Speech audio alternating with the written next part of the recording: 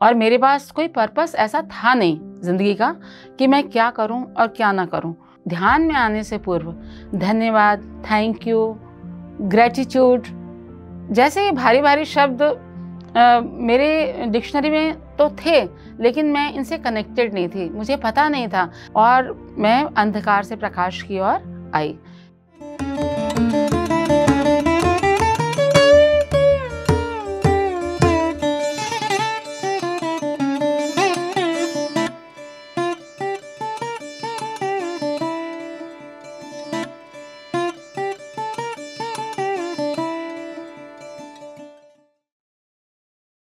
सर्वप्रथम पिता महापत्री जी को मेरा सादर नमस्कार। नमस्कार फ्रेंड्स, मेरा नाम सरोज जैंग है। मैं दिल्ली रोहिणी में रहती हूँ और मैं दिल्ली गवर्नमेंट से एज ए सुप्रिटेंडेंट रिटायर हूँ। पीएसएसएम में मैं अरुणा जी के माध्यम से आई। अरुणा जी पार्क में ध्यान सिखाने आया करती थी और मैं भी पार्क में वॉक करने के लिए जाया करती थी। वहाँ कुछ बेंचेस पर अक्सर मैंने काफ़ी लोगों को पिरामिड कैप्स पहन के अशांत बैठे हुए देखा और अरुणा जी को मैंने कुछ धीरे धीरे बोलते हुए देखा। उन लोगों ने मेरा ध्यान आकर्षित किया और एक दिन मैं वहाँ गई। अरुणा जी ने ना मुझे केवल ध्यान करने के लिए प्रेरित किया, बल्कि उन्होंने मुझे ध्यान सिखाया। आना पाना सती ध्यान उन्होंने मुझे उसका महत्व भी बताया और वो सिखाया भी सही। मेरा ध्यान में इंटरेस्ट मुझे ध्यान में इंटरेस्ट आने लग गया उन्होंने मुझे ध्यान करने के लिए बहुत प्रेरित किया और जब भी मेरी ज़िंदगी में कोई चैलेंज आया ध्यान को लेके या किसी और प्रकार को लेके मैंने उन्हें अप, सदा अपने साथ खड़े हुए पाया। अरुणा जी से मिलने के कुछ ही दिन पश्चात ऋषिकेश में जब ध्यान सत्र का महाध्यान कुंभ सत्र का आयोजन हुआ तो मुझे भी वहाँ जाने का अवसर प्राप्त हुआ। वहाँ पत्री जी को मैंने पहली बार देखा मैंने पत्री जी के बारे में कभी सुना नहीं था और ना ही मैं उनको जानती थी। जब मुझे पता लगा कि ये गुरु जी हैं तो एक क्षण के लिए मुझे लगा कि यह गुरु जी हैं। बिल्कुल सीधा साधा व्यक्तित्व, लंबी दाढ़ी, सिंपल कपड़े और दूर से आते हुए मुझे बहुत ही वो एक देव, लगे तो देवदूत की तरह ही मुझे नज़र आए। तो मेरे फेस पे एक हल्की सी स्माइल आ गई। मैंने मैंने अपने, मैंने कभी ज़िंदगी में लाइव गुरु धारण नहीं किए थे और लाइव गुरु में मेरा विश्वास भी नहीं था, लेकिन जब पत्री जी स्टेज पे जाकर बैठे और उन्होंने बाकी स्टेज मैंने मोस्टली देखा है कि स्टेज पर जो गुरु हैं, वो अकेले ही होते हैं। लेकिन जब उन्होंने कुछ और लोगों को भी स्टेज पर बैठने के लिए आमंत्रित किया तो मैं बहुत ज़्यादा हैरान हुई। मेरे लिए एक और आश्चर्य था। वहाँ होने के पश्चात, फिर कुछ ही देर के पश्चात मैंने देखा कि पत्री जी एक कुर्सी पर बैठे हुए हैं और बहुत से लोग उनको घेर कर बैठे हुए हैं, घेर कर खड़े हुए हैं और पत्री जी सबसे बात कर रहे हैं, किसी को बाबा कह रहे हैं, किसी को प्यार कर रहे हैं, किसी से हाथ मिला रहे हैं। मेरे लिए तो एक से एक आश्चर्य ये घटित होता गया और मेरे मन में उनके लिए आदर की भावना उत्पन्न होने लग गई। कुछ देर के बाद लंच का समय हुआ और मैं जाकर, मैं भी बाकी लोगों की तरह भोजन की पंक्ति में खड़ी हो गई। भोजन की पंक्ति में खड़े होने के पश्चात मैंने देखा कि पत्री जी वहाँ पर खीर बांट रहे थे। तो मेरे लिए एक से एक हैरान होने वाली बातें होती चली गई, होती चली गई। और मैंने सोचा कि ये गुरु हैं और ये भोजन भी बांट रहे हैं। तो मैंने जैसे मैंने प्लेट आगे की अपनी तो और उन्होंने खीर डाली, लेकिन मेरा जो ध्यान था, वो खीर और प्लेट की तरफ़ नहीं था। मैं उनके फेस के जो तेज़ था, तेज़ों में उनका जो फेस था, उस पर मेरी नज़र थी और अचानक ही मेरी आँखें बंद हो गई और मैं धीरे से, लाइन से बाहर आ गई। उस समय तो मैंने ये महसूस नहीं किया शायद कि पत्री जी ने खीर के साथ साथ मुझे ध्यान भी परोस दिया था। पत्री जी के फिर उसके अगले दिन पूर्णिमा थी और पूर्णिमा ध्यान का पत्री जी के साथ हमने वहाँ काफ़ी सत्र ध्यान के किए। मैं और मेरे पति दोनों ही हम ऋषिकेश गए थे चार दिन के लिए। उनके साथ दो तीन सत्र हमने ध्यान के किए, लेकिन पूर्णिमा ध्यान मेरे लिए अविस्मरणीय बन गया। गंगा किनारे पावन तट पर ठंडी ठंडी हवा के बीच में पत्री जी ने जब संगीत ध्यान करवाया और वो तीन घंटे का संगीत ध्यान था, हम संगीत हम ध्यान में बिल्कुल नए थे।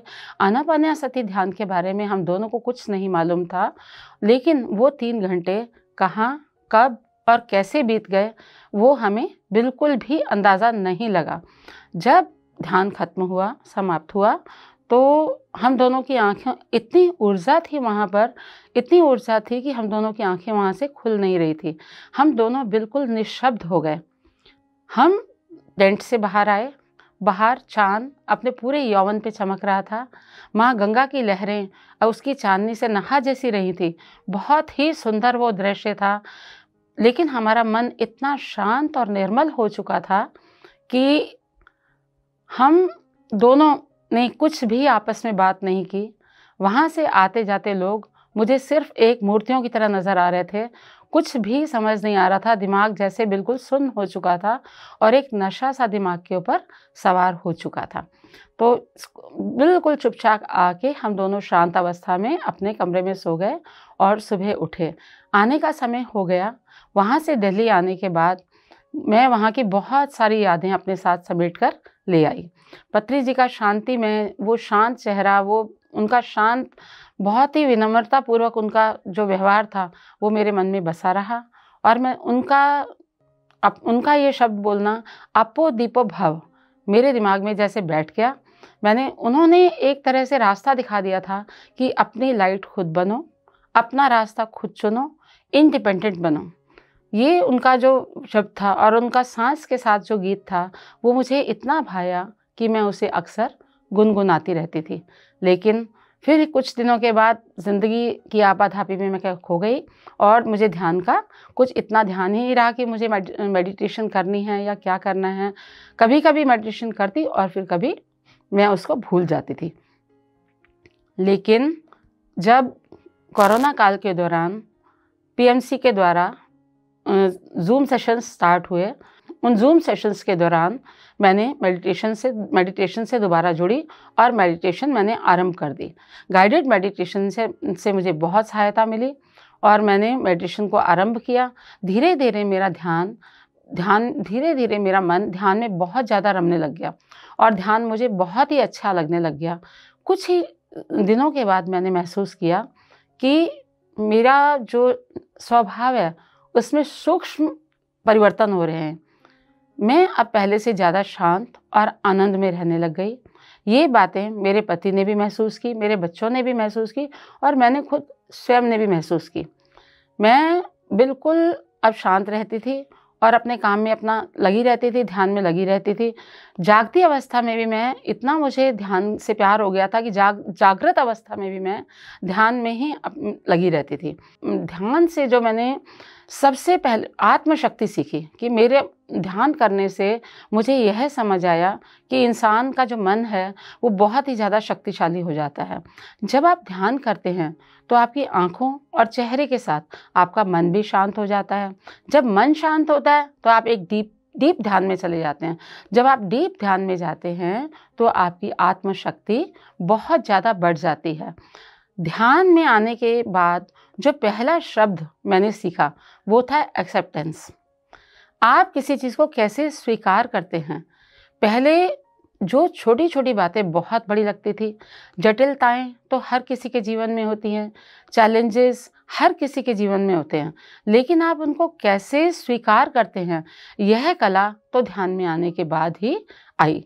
सकारात्मक शब्द मुझे ध्यान में आने के बाद ही इसका मतलब समझ आया और मैं जो मेरे आसपास छोटी छोटी घटनाएँ घटित हो रही थी, जो कुछ अनवांटेड मेरी ज़िंदगी में लोग थे, उन सब लोगों को मैंने मैंने मैंने मेरा नज़रिया उन सब लोगों को देखने का बदल गया। एक्चुअल में वो लोग नहीं बदले, मैं ही बदल गई। एक्सेप्टेंस का मतलब यही होता है कि आप स्वयं बदल जाओ और यह मेरे लिए एक तरह से वरदान बन के आया। ध्यान से मैंने मौन के महत्व को समझा। मौन रहना एक बहुत बड़ी कला है।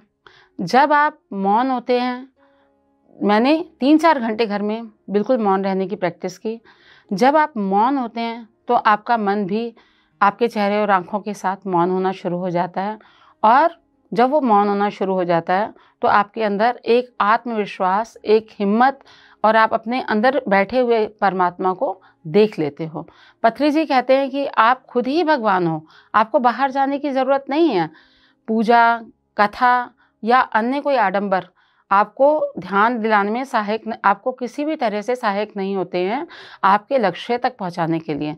लेकिन अगर आप निरंतर ध्यान करते हैं तो आप इससे बहुत कुछ पा सकते हैं। पत्री जी भी कहते हैं, जब आप में सकारात्मकता आती है, सकारात्मक विचारों के साथ आप दो स्टेप आगे चले जाते हैं और जब आपके अंदर नकारात्मकता आती है नकारात्मक विचारों के साथ आप चार स्टेप पीछे चले जाते हैं। तो यह बात मेरे मन में मेरे को अंतर तक छू गई। बहुत सुंदर, बहुत ही सुंदर व्याख्या है सकारात्मकता और नकारात्मकता की। स्वप्रेम, अपने आप को प्रेम करना क्या है? यह तो मैंने ध्यान में आने के बाद ही सीखा। यह तो मुझे पता ही नहीं था कि कभी आप अपने आप को भी प्यार कर सकते हैं। मैंने अपनी मम्मी को देखा, अपनी दादी को देखा, मैंने उन्हें हमेशा कार्यरत देखा, अपने घर के कामों में व्यस्त देखा और मैंने कभी उनको फ्री नहीं देखा। अपने लिए मैंने उनको कभी कुछ करते हुए नहीं देखा। मैंने देखा मेरी मम्मी, मेरे फादर आर्मी में थे और मम्मी जो थी वो हमेशा घर का काम करा करती थी। हम पाँच भाई बहन थे और वो शाम को जब वो थोड़ा फ्री भी होती थी तो आसपास की जो लेडीज़ हैं वो आके बैठ जाया करती थी और मम्मी उनको सिलाई सिखाया करती थी। मैंने उन्हें कभी रेस्ट करते या अपने लिए कुछ करते हुए नहीं देखा तो स्व प्रेम इसका मतलब मुझे कभी नहीं पता था। मुझे इसका मतलब तब ध्यान में आने के बाद ही पता लगा कि अपने आप को प्यार करना एक बहुत बड़ी कला है। अपने आप को रिस्पेक्ट करना एक बहुत बड़ी कला है।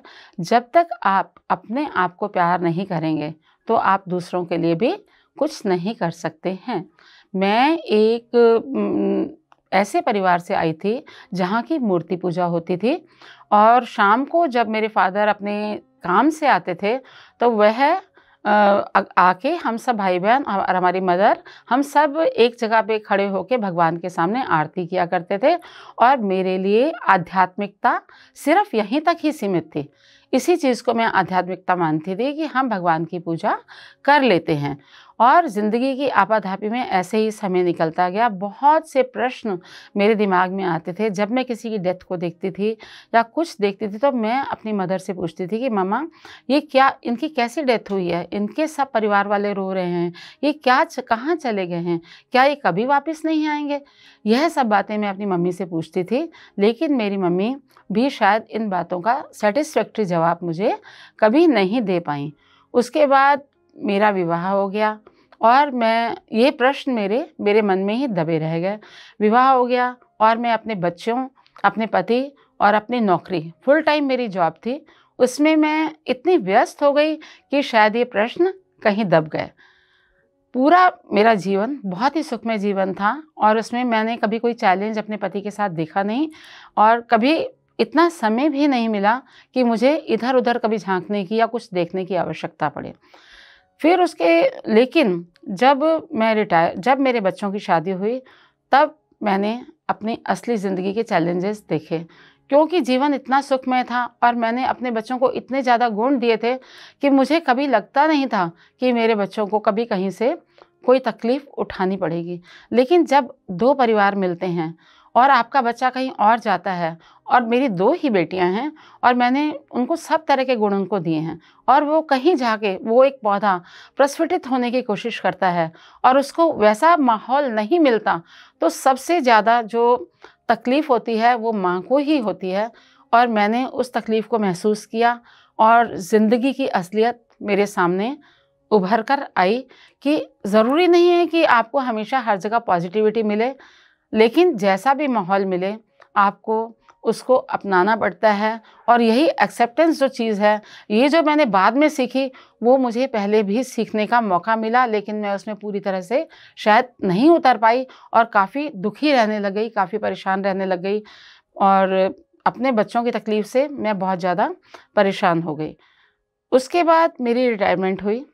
रिटायरमेंट होने के बाद मेरा दिमाग, बच्चे मेरे दोनों शादी हो गई और अपने अपने घर चले गए। लाइफ जैसे एक नॉर्मल तरीके से चलने लग गई। उसके बाद मैं रिटायर हुई। रिटायर होने के बाद मेरा दिमाग बिल्कुल खाली हो गया क्योंकि बच्चे भी अपने अपने घरों में चले गए थे और मेरे पति भी अपने काम में व्यस्त थे। और मेरे पास कोई पर्पस ऐसा था नहीं ज़िंदगी का कि मैं क्या करूँ और क्या ना करूँ। तो मैं अपना समय व्यतीत करने के लिए मॉर्निंग के मैंने दो तीन घंटे डिस्ट्रिक्ट पार्क में जाना शुरू कर दिया, जहाँ की मेरी अरुणा जी से मुलाकात हुई और मेरे मेरे लिए ध्यान का रास्ता खुल गया। जो, जब ध्यान का रास्ता खुला तो मैं उस रास्ते में जाती चली गई अंदर और घुसती ही चली गई और मैं दीप, मेरा ध्यान लगना शुरू हो गया। और जूम सेशंस तो जैसे मेरे लिए एक वरदान ही बन के आए, क्योंकि घर में बैठे बैठे आपको हर चीज़ प्राप्त होने लग। गई विभिन्न मास्टर्स को मैंने सुना। धीरे धीरे मेरा बहुत और मेरा मन बहुत ही ध्यान से जुड़ने के बाद मैं काफ़ी आनंद में रहने लग गई और मेरा मन काफ़ी शांत हो गया। धीरे धीरे मैं और आगे बढ़ी और मैंने पीएमसी चैनल खोल के बहुत ग्रेट मास्टर्स को सुना। मैंने संगीता नेहरा जी को सुना, प्रेमनाथ जी को सुना और भी मैंने रामराजू सर को देखा, ये सब मैंने सुना इन सबको और इन सबको सुनने के बाद मेरा इनसे, मेरा ध्यान में मेरा और भी मैं ज़्यादा गहरे उतरती गई, ध्यान से मेरा लगाव और भी ज़्यादा गहरा होता चला गया। कुछ समय के बाद मुझे चौ, ये चौदह नवंबर को दीपावली का दिन था, जिस दिन हमारे ये पीएमसी चैनल का उद्घाटन हुआ, जहाँ मैं आज आप लोगों के सामने बैठी हुई हूँ। यह भी, वो एक बहुत ही ज़्यादा सुंदर दिन था। बहुत सुंदर दिन था। उस दिन दीपावली भी थी। हमारी पीएमसी चैनल का उद्घाटन भी था नॉर्थ इंडिया का और उसके साथ साथ मेरा जन्मदिन भी था। तो अरुणा जी ने मुझे बताया कि पत्री सर आ रहे हैं तो मैंने उनको एकदम से हाँ कर दिया कि हाँ मैम, मैं ज़रूर ज़रूर आऊँगी और अपने गुरु के दर्शन करूँगी। मैंने अब उनको अपने पूरे मन से गुरु मान लिया, जो मुझे अंधकार से प्रकाश की ओर लाए, जिन्होंने सारा अपना अपना सारा जीवन इस चीज़ में लगा दिया कि कैसे इस संसार को भौतिकता से, आध्यात्मिकता की तरफ़, मांसाहार से शाकाहार की तरफ़, और बहुत सारा उन्होंने जो भी हो सक, जो भी इस संसार को सुंदर बनाने की पॉसिबिलिटीज़ हो सकती थी, वो उन्होंने की। तो वो दिन मेरे लिए बहुत सुंदर दिन था। उस दिन मैंने दोबारा से पत्री जी के दर्शन किए और मैं अपने जीवन में धन्य हुई। जब मैं बहुत सारे ग्रेट मास्टर्स को सुन रही थी तो उस दौरान मैंने पीएमसी हरियाणवी में पशु जगत, पक्षी जगत, खनिज जगत और इन सब चीज़ों के बारे में सुना तो मेरा प्यार इन सब चीज़ों की पेड़ हमें कितना देते हैं, प्रकृति हमें कितना देती है, ये सब चीज़ें तो मैंने, ये सब चीज़ें तो कभी एहसास ही नहीं किया था। पीपल का पेड़ हमें क्या देता है, बरगद का पेड़ हमें क्या देता है, उनका हमारे जीवन में क्या महत्व है, यह सब चीज़ों का एहसास पहले कभी भी नहीं था। सब चीज़ें देखते थे, उनका यूज़ भी मालूम था, लेकिन हम उनसे कितने कनेक्टेड हैं? ये सब चीज़ें तो शायद मैंने कभी जानी नहीं थी। मेरा पेड़ पौधों से अपना तो इतना ज़्यादा बढ़ गया कि मैं उनको तहे दिल से प्यार करने लगी। मेरे घर में जो छोटे छोटे पौधे थे, मैं उनको लव की वाइब्रेशंस देने लगी। उनको सुबह उठ के उनको अपने पूरे दिल से पानी देने लगी। कुछ ही दिन में मुझे लग, ऐसा लगा कि वो पौधे लहलहाने लगे हैं और वो पहले से ज़्यादा हेल्दी हो गए हैं। वो मुझसे बातें भी करने लगे हैं और वो अब मुस्कुराने भी लगे हैं। यह मेरे लिए बिल्कुल एक नया एहसास था। जहाँ तक पशु पक्षियों की बात है, मैं पूरी ज़िंदगी व्यस्त होने के कारण मेरे घर में कोई पेट नहीं था। लेकिन एक दिन अचानक एक छोटा बिल्ली का बच्चा मेरे आँगन में आ गया और ये भी बड़ा ही सुंदर एहसास था। उसकी मासूम प्यारी आँखें देखकर मुझे बड़ी अच्छी फीलिंग हुई और मैंने एक छोटी कटोरी में उसके लिए दूध रख दिया और वो फटाफट से दूध पी के भाग गया। लेकिन अगले दिन मेरी हैरानी की सीमा नहीं रही। वो बिल्ली का बच्चा दोबारा से अपने नियत समय पर वहाँ आ गया।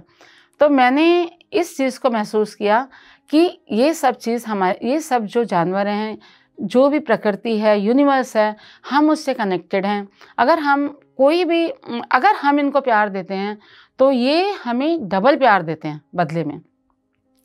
इस तरीके से ध्यान में आने से पूर्व धन्यवाद थैंक यू ग्रेटिट्यूड जैसे ये भारी भारी शब्द मेरे डिक्शनरी में तो थे, लेकिन मैं इनसे कनेक्टेड नहीं थी। मुझे पता नहीं था। हम अनजाने में भी किसी को धन्यवाद और थैंक यू कह दिया करते थे।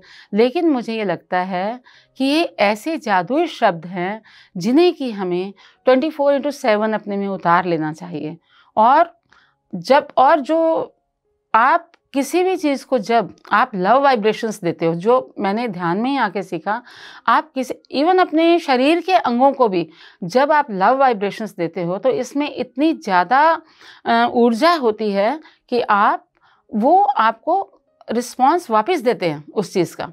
मेरे घुटनों में काफ़ी दर्द रहा करता था ध्यान में आने से पहले और डॉक्टर ने मुझे दो साल पहले ही ऑपरेशन की सलाह दे दी थी, लेकिन मैं अपने मन से इसके लिए तैयार कभी हुई नहीं थी और मेरी फ्रेंड्स वगैरह ने सबने सर्जरी करवा ली थी और वो मुझे कहा करती थी कि तुम भी इतनी तकलीफ़ उठा रही हो तो सर्जरी करवा लो। लेकिन in the meantime lockdown हो गया और वो पीरियड तो मेरे लिए जैसे वरदान बन के आया, क्योंकि मैं ध्यान में भी आ गई।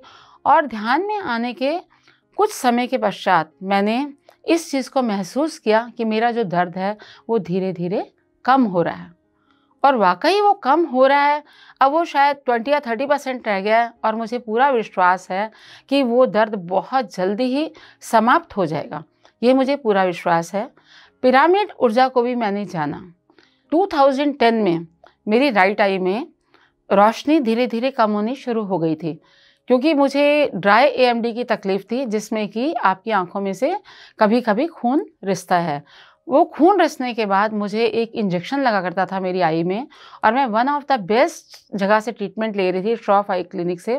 उन्होंने मुझे कह दिया था कि आपकी आँख कभी भी ठीक नहीं हो सकती और इसका कोई भी इलाज नहीं है। आपको इसको ऐसे ही स्वीकार करना पड़ेगा और इसको, ये बात मैंने अरुणा जी से शेयर की तो अरुणा जी ने मुझे आई पिरामिड दिया। तो मैं उस आई पिरामिड का इस्तेमाल कर रही हूँ आई कैप का इस्तेमाल कर रही हूँ और मुझे आशा नहीं, पूरा विश्वास है कि मैं बहुत जल्दी ठीक हो जाऊँगी। और संकल्प शक्ति शक्ति की बात तो मैं आपको क्या बताऊँ, मैंने कभी पिरामिड ध्यान नहीं किया था क्योंकि मैं इस जगत में बिल्कुल नई हूँ। अरुणा जी ने मुझे कहा कि हम शास्त्री जी के घर चलते हैं और वहाँ वहाँ पिरामिड बना हुआ है, आप वहाँ भी चलिए। तो मैंने कहा, ठीक है।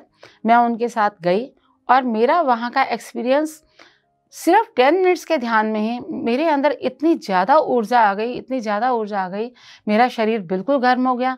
जो मेरी इच्छा थी कि मैंने पिरामिड के नीचे ध्यान नहीं किया, वो मेरी इच्छा उसी क्षण पूरी हो गई। जब आप कोई इच्छा अपने मन से करते हैं तो किस तरीके से प्रकृति आपका साथ देती है यूनिवर्स आपका साथ देता है?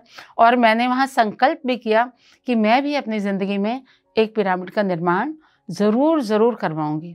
यह सब बातें कहते हुए मैं अरुणा जी का अपने मन से बहुत बहुत बहुत धन्यवाद करती हूँ, जो मुझे जिन्होंने मुझे ये रास्ता दिखाया। मेरे जिस रास्ते में आने की वजह से मेरे कष्ट भी दूर हुए, मेरे, मेरी शारीरिक क्षमताएँ बढ़ी और मैं अंधकार से प्रकाश की ओर आई। मैं पिता महापत्री जी का भी बहुत बहुत बहुत सादर उनको प्रणाम करती हूँ। मेरे दिल में उनके लिए बहुत ज़्यादा आदर और रिस्पेक्ट है।